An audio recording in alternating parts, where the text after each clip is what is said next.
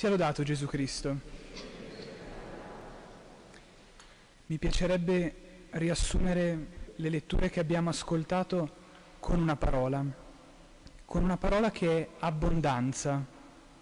Abbondanza perché se abbiamo prestato attez- attenzione alla prima lettura, vediamo come gli esploratori che vengono mandati nella terra promessa si rendono conto di quanto bene, di quanti beni della terra, di quanta ricchezza questa terra offre, offre loro. Se abbiamo ascoltato bene, la frutta, quel grappolo di uva che loro portano a Mosè è così grosso da dover essere trasportato da due persone. È un grappolo di frutta veramente enorme, proprio a dire l'abbondanza dei doni, la ricchezza che la terra che Dio ha promesso al popolo di Israele aveva effettivamente da offrire. E l'abbondanza è un tema che ritorna anche nel Vangelo di oggi, nel Vangelo di questa domenica. Colpisce il numero 7, ritorna più volte, colpisce il fatto che questa folla, una folla grandissima,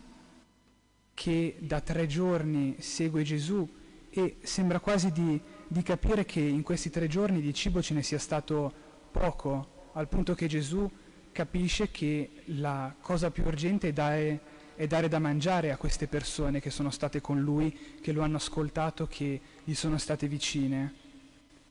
Ma i discepoli giustamente dicono come è possibile, abbiamo sette pani e sette è un numero importante, è un numero importante nella scrittura perché sette è il numero che dice la pienezza, dice una perfezione, dice l'abbondanza appunto. Però davanti a una folla così grossa, sette pani sicuramente non sono sufficienti. E allora interviene, interviene la grazia di Dio, interviene Gesù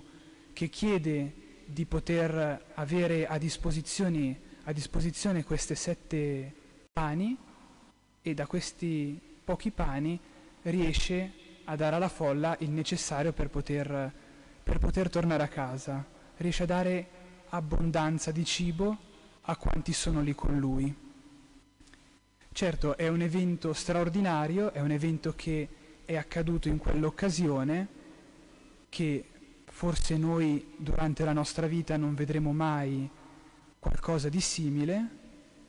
però il Signore anche a noi offre la possibilità di moltiplicare qualcosa, offre la possibilità di moltiplicare i nostri sette pani.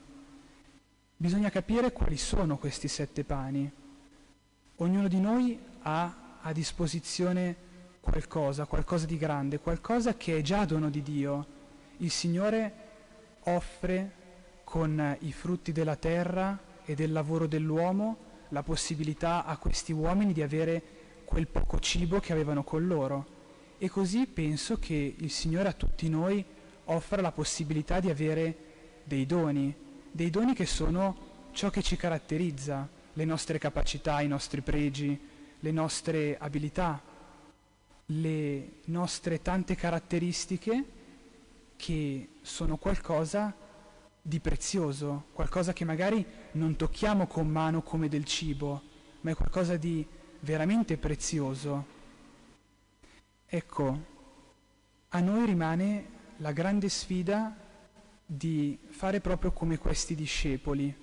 I discepoli si rendono conto di avere quei beni, quei pani, quel cibo. È poco, è poco, ma è già grazia di Dio, è già un dono che Dio fa loro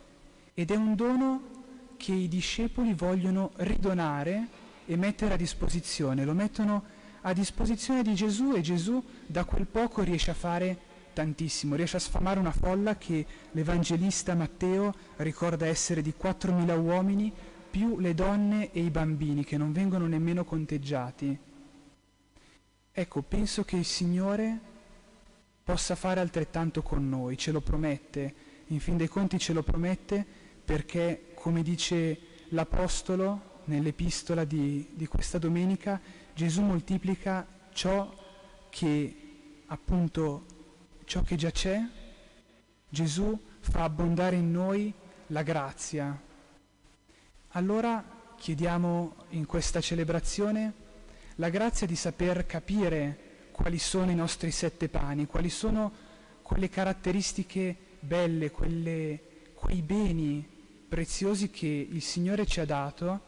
e che noi possiamo mettergli a disposizione, possiamo affidargli, perché da questi nostri piccoli doni